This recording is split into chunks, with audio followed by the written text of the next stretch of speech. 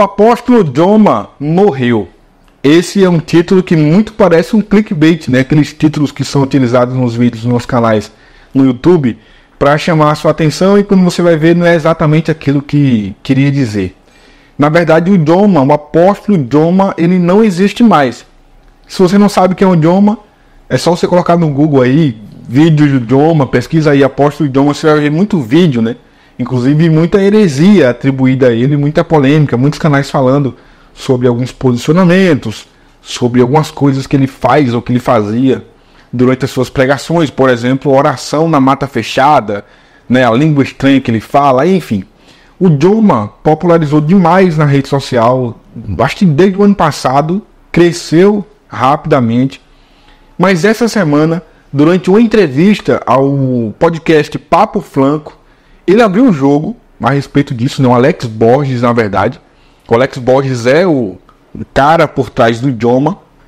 E aí ele foi perguntado: Você continua como apóstolo? Você continua na igreja?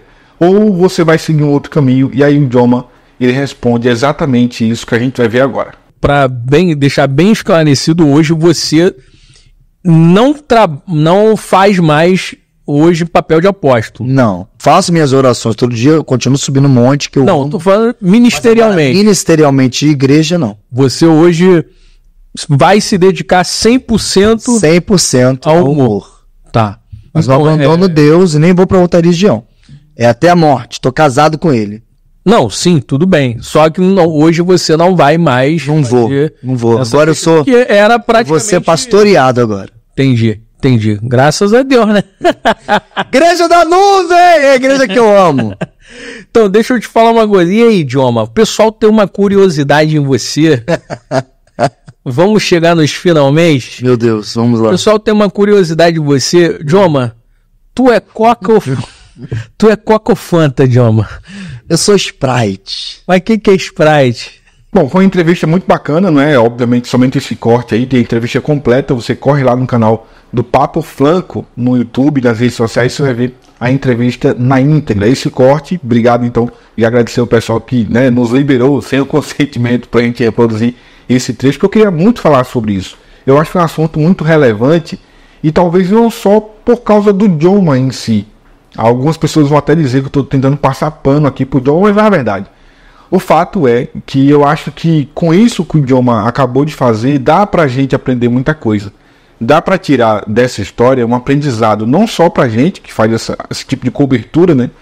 Aqui no meio gospel, não só para vocês que nos acompanham é, diuturnamente, acompanhando esses, esses casos polêmicos que surgem no meio gospel, mas também para esses próprios personagens que de tempos em tempos eles surgem no meio evangélico, alguns deles vão né, e ficam até sabe Deus quando.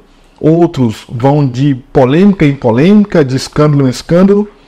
E outros são subitamente tirados do meio de nós. Você deve entender o que eu estou querendo falar. O Joma, ele, o Alex, né, o Alex Borges, ele deu vida a, ao Joma e muita gente já há muito tempo se questionava se o Joma ele era só um personagem ou de fato era um apóstolo era alguém é, ligado à questão espiritual, que estava, sabe, que tinha igreja, que conduzia igreja, que tinha membros, fiéis, ovelhas, discípulos, né? e etc. E é fato que por um bom tempo o John de fato conduziu a igreja, né? Pequena, mas ah, pessoas que o seguiam, que o acompanhavam. Depois que ele começa a crescer nas redes sociais, ele começa a receber muito convite para participar de agenda e em diversas partes do Brasil gravou vídeos com muita gente famosa do meio gospel, mas hoje o Joma ele só quer se só quer ficar ligado, né, à questão do humor.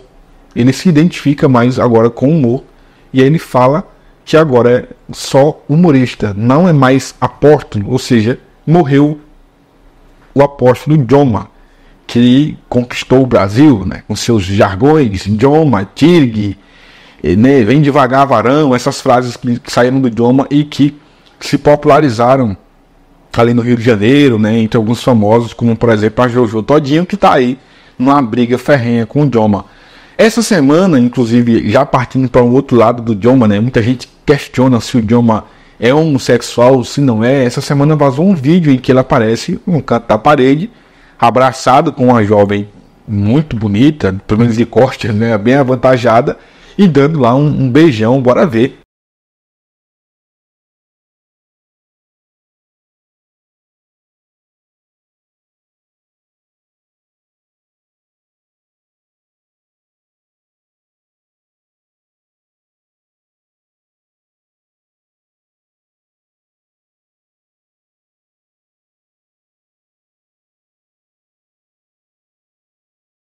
Criou-se então uma expectativa para saber quem é essa senhora.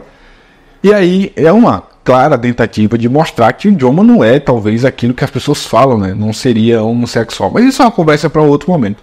O que eu queria falar aqui é em relação ao que a gente pode aprender com esse posicionamento do idioma é que, cara, é preciso tirar o chapéu para ele e, e até parabenizá-lo, porque ele é um dos poucos, um dos poucos que teve coragem rapidamente, nem demorou tanto tempo assim, para assumir o seu posicionamento como humorista. Apenas. Parece-me que vai, inclusive, enveredar para o caminho da política, né? A, a, se filiou ao partido, salvo engano, MDB, talvez dispute uma vaga de vereador nessas eleições. Mas veja, saiu, né? não está mais se apresentando como apóstolo, fez questão de responder isso, e é até provável que essa pergunta ah, pode ter sido combinada. A pergunta sobre isso que eu preciso falar sobre isso aqui. E foi feito então esse esclarecimento. E era muito bom que outras pessoas, que outros personagens também que há no meio evangélico, que eles se decidissem, né? Reconhecessem que não dá para ficar enganando as pessoas na igreja. Tem muita gente, muita gente sobretudo aqueles que usam as redes sociais para fazer campanha de Pix, para fazer revelações e etc e tal, que vivem uma vida dupla. Quantas vezes chegaram é, fotografias aqui é, do Joma, por exemplo, em um bar, conversando com amigos, os caras diziam, ah, o Joma tá bebendo, mas você não tinha ele bebendo, então só tinha a foto dele conversando com alguém, ou em algum evento secular, né? Quantas vezes não chegaram na nossa redação e na redação de, da maioria dos, dos youtubers aqui do meio do meio evangélico que cobra esse tipo de conteúdo. E o John tomou a decisão de pular fora e de ficar somente com o lado do humor. Talvez a ele agrade mais, né? Mas ele deixou claro que continua na igreja, continua seguindo, né? Fazendo suas orações, etc e tal. É bacana. Bacana. E eu quero, cara, de verdade, parabenizar o John por essa iniciativa, porque tomou uma decisão. Melhor do que ficar iludindo a igreja enganando a si mesmo, enganando aos outros, recebendo ofertas, recebendo dinheiro de, de igreja. E você sabe que dinheiro de igreja, a origem, sempre vem de um sacrifício, né?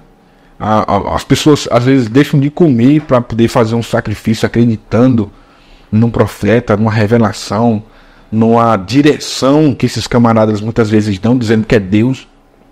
E aí o Dilma toma essa decisão de, ao que se sabe, matar o apóstolo Joma, e agora é somente o humorista Joma.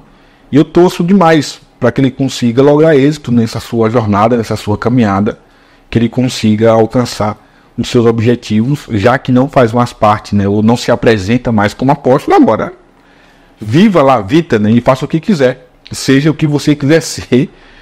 Só oro, né, para que Deus possa guardar a sua alma, a sua vida, e que você possa manter Joma, se você nos assistindo aqui, o temor a Deus, né? Que é importantíssimo para qualquer um. Esteja dentro ou fora da igreja, claro. Você disse que vai continuar na igreja, mas manter o temor a Deus, eu até acredito, né? Que essa iniciativa de falar, eu não sou mais apóstolo, parte desse pressuposto aí. Né? Isso é temer a Deus, né? É temer a Deus.